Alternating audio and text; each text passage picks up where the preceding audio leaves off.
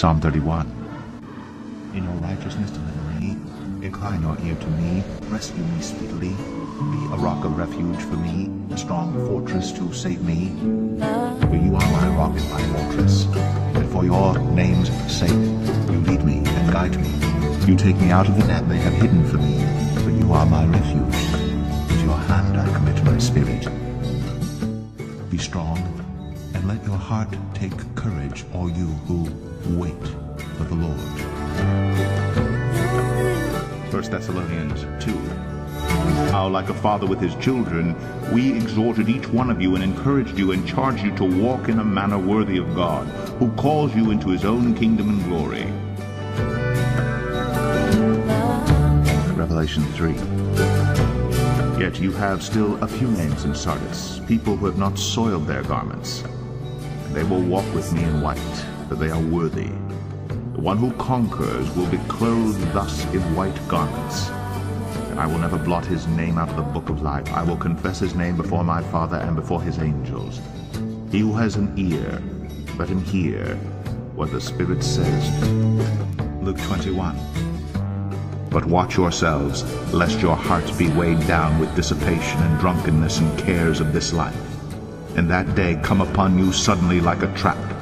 For it will come upon all who dwell on the face of the whole earth but stay awake at all times, praying that you may have strength to escape all these things that are going to take place, and to stand before the Son of Man.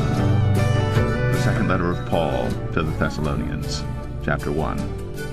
To this end, we always pray for you, that our God may make you worthy of his calling, and may fulfill every resolve for good and every work of faith by his power, so that the name of our Lord Jesus may be glorified in you and you in him, according to the grace of I speak unto thee this day, and I say that it is men who bring to themselves multiplied sorrows, multiplied sufferings, because they depart from me. For I say, when men will go whoring after the ways that I do not intend nor ordain for them, then I say they set it up to have transgression to rule over them. That is, they set it up to have the sorrow, the hardship that comes to transgressors to be their own. And I say it is because they are choosing to be losing by departing from me. Now I say this day, when you look upon the condition that men and women are in in these dreadful times, why is it so? I say it is because they have chosen a way that I did not ordain, nor did I provide. And I say they have chosen to go according to walk afar off from me. And I say they have chosen the way of iniquity, the way of darkness to be their own. Now I say this day that I, the living God, do intend that men would learn to live for me by repenting unto me and changing their ways. That is, by humbling themselves that they could indeed be brought forth in the newness of life that I provide. But I say, when men are vainly puffed up according to their own understanding, they esteem themselves as better than they are. They think they know more than I know. Oh, what fools they are proven to be. Now I say this day, because you are living in a land that is full of rebellion and pride, I say that the same can easily slip in upon thee. That is where you begin to think that you are the one who has brought forth yourself when it is not true. That is, men to be, begin to take the glory to themselves. They begin to imagine they are better than they are. And I say they end in the drunkenness of pride. And I say when men are intoxicated on pride, I say they are easily led astray. I say this day that I, the living God, do not call you to pride, but I say that I call you to humility, to walk humbly before me. That is, that you can be uplifted, brought forth, guided, and directed in my way. For I say, if it is me that you will keep serving, seeking to please, and following after, then I say you are guided forth by me. And yes, you are given the strength, the truth, the blessedness of who I am. Now I say this day when I, the living God, do offer to you the way that is truth and light, I say you are meant to be accepting of the same. That is, you are meant to be thankful that it is me you can look to, believe in, and trust each and every day. For I say, when you will indeed be walking in the light, and then I say you are not led into a ditch. And I say when you will indeed be accepting of the truth, and I say you can give thanks and praise unto me. Now I say this day that I, the living God, do intend you to be coming forth, ever uplifted, directed, and guided in my way. And I say that I do intend you to be a partaker of that which I give time and again. For I say it is me, the living God, who does give the way of truth, the way of life, and the way of mercy intended. And I say that the ones who will be found abiding in me will partake of the same. Now I say this day in a wayward, a perverse, a vile, a wicked generation, there are many who are led astray. They are led into the way of transgressors. And I say that that way is hard. But I say it is not me, the living God, who leads them there, but I say it is the adultery of their own hearts and demon forces that grab hold of them. For I say, when men and women have gotten their eyes full of adultery, then I say they crane their neck, they strain their eye to take in, to put on the ways of the heathen. And I say that those ways are nothing but damnation of soul. I say this day that I, the living God, do not call you to damnation of soul, but I say that I call you to walk soberly in me. That is, I call you to be sure what it is that you do in the sense that you are pleasing me. For I say you are not in this life to gain what it is that you think you need, but I say you are in this life to be pleasing unto me. That is, to walk in the way that I ordain, the way of my truth, my light, my mercy, and be thankful unto me. Now I say this day, let it be me that you continue to look to. Let it be me that you will continue to trust and obey. For I say, if you are coming forth in that which I give, then I say you are uplifted in me. And yes, you are given the hope, the peace, the strength, the safety that I provide each and every day. For I say it is me, the living God, who is the way of all righteousness, blessedness, truth, and mercy intended. Now I say this day that I, the living God, do humble men, that is, I bring them low, that they would indeed repent.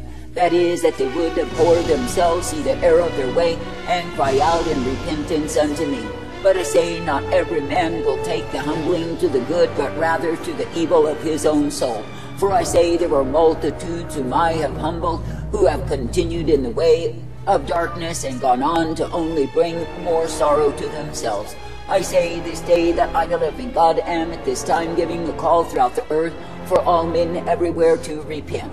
And I say it is because men and women are needy of repentance, they are needy of returning, they are needy of seeing the error of their way. And I say it is me, the living God, who is in my mercy giving them the opportunity to repent before my wrath is revealed. I say that it is me, the living God, who desires that men would be restored unto me rather than damned forever and lose their souls. I say this day that I, the living God, do intend that men and women would walk uprightly, that they would be thankful to be ever guided by me. That is, that they would be thankful that it is me they can look to, believe, and entrust day by day.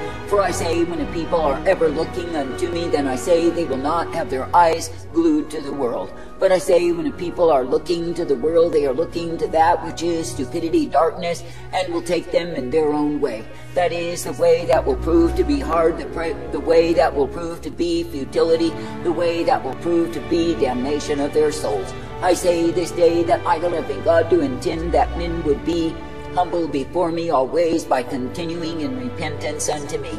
But I say you are living in a time in an age when men and women scoff the very call to repentance as though they had no need of the same.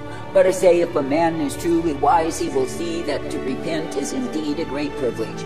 That is, to be able to humble himself before me to cry out for my forgiveness and receive the same.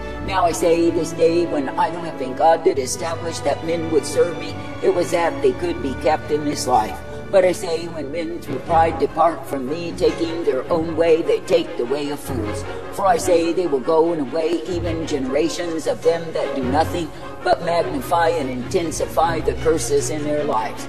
Then I say they are stragglers, they are wretches, they are exceedingly miserable and poor and afflicted, but I say it is because of the choices they have made against me.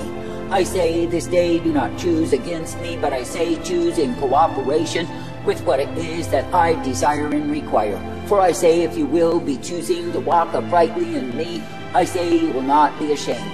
But I say if you are choosing the way of transgressors, the way of fools, I say you are choosing the way of death. And I say you will know what it is to be damned even in this life, for you will suffer the agonies of the same. I say in this day that I, the living God, do intend that men would hear the call to repent, that they would obey and come forth in my way. And I say that I do intend that the ones who are mine would walk uprightly in me day by day. That is, ever thankful to be directed, corrected, and brought forth. That is, ever thankful to be given the truth, the light, the mercy of who I am. Therefore I say this day, do not waver in what it is that I've called you to do. Do not back up. But I say continue to live in and declare repentance, revolution to a sin-sick, a dying world. For it is true that men are full of sin on every hand, they are sick from the same, and dying and then losing their souls through it all. And I say it is because they have refused to repent, they have shunned repentance, or they've never heard that they needed the same. Therefore I say, stay steady unto me, be faithful to remember that it is me you are meant to please. That is, do not seek to be pleasing yourself, do not go chasing the wind for some fabricated ministry of your own invention. But I say simply stay steady at what it is that I've called you to do, ever may gladden me. And I say, be coming forth, knowing that it is me, the living God, you are meant to obey, to please, and follow after. I say, if men would get their eyes off of their own desire, their own lust and unto me, how much more peaceful their lives would be. But I say, when men are ever striving in the flesh to please their own carnality, I say they are striving to please the fool. For I say that the carnality of all men is foolish, it is stupid, it is dull and dumb. But I say that the way of my spirit is life and truth and mercy provided. Now I say that the carnal man in himself will self-destruct because death is the end of his reign. And I say that when men give themselves over to be ruled by the beast that is their own carnality, they are ruled by the fool. But I say when men will choose to be ruled by me, then I say they are guided in wisdom and truth. And I say they are given the light upon the path that they can indeed come forth rejoicing in me. Now I say this day when I, the living God, do give the call to any and all, I say you are privileged when you will hear and obey. And I say, likewise, you are privileged to be able to declare that call, for I, the living God, have ordained it to be so. And I say, you are meant to be messengers of light. In a darkened world, you are meant to be proclaiming to the lost the way wherein they can be found. That is, found abiding in me because they have repented unto me. I say this day, be thankful, be thankful, be thankful that it is me that you can look to and believe each day. That is, that you do not need to magnify and intensify suffering in this life by bringing it to yourself. But you can indeed refuse, refute, and rebuke the unfruitful works of darkness, not accepting them as your own. And I say that you can come forth made glad for the privilege to be serving me. For I say it is me, the living God, who is the way of all righteousness, revealed the way of all mercy and truth, and the way of hope intended. And I say, when it is me that you will be looking to in faith and trust and confidence, it is me who brings you forth. And it is me who will direct you, correct you, and give you the light always. For I say that men choose to be wretched, they choose to be miserable, they choose to be afflicted and poor. Why is it so? I say it is because they are choosing in opposition to me. I say this day do not take in the intoxication of pride, for the same will make you a drunken fool. But I say walk soberly each day and be ever faithful to be serving me. And I say, be made glad that it is me you can look to, believe, and entrust, for I am the I am. And I say, be made glad that I will uplift and guide you forth, for yes, indeed, you are mine. I say, this day be thankful that you do not need to be found going a whoring from me, that you can be found ever faithful to me that is, ever faithfully walking in that which I give you, which is my light upon the path. And I say that you can be rejoicing that it is me you are privileged to look unto and believe. For I say it is me, the living God, who is righteousness and truth, mercy and hope, and the peace provided for those who believe upon me. Therefore I say, be faithful, be true, be steady in your confidence in me, the author and the finisher, the beginning and the end. For I say it is me, the living God, who is indeed the way of righteousness and truth, mercy and light and peace provided. And it is me, the living God, who will guide you forth by a plain path and direct your steps. Therefore I say, be faithful, be true, be steady in me, the one true God who does care for thee. And I say, be thankful each day that you can come forth rejoicing in what it is that I offer, what it is that I provide that you can indeed be directed, corrected, and shown the light upon the path, for it is me, the living God, who is present to give to you the same. I say that you do not need to end up utterly wretched and miserable because of choices against me. But I say that you can indeed learn to cooperate with me and be maturing in me, whereby you become one with me. That is, where you will be willing to walk in the way that I give you without murmuring nor complaining, but rather with thanksgiving and gladness, because it is me that you serve. that you can come forth, make glad for the privilege to be ever guided in truth as you continue in repentance unto me. For I say to a repentant people that I, the living God, do give the abundance of mercy day by day. But I say I resist the proud, the defiant, the rebellious, for they go in their own way.